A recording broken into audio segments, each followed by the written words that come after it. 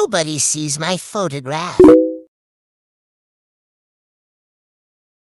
My client sees her photograph.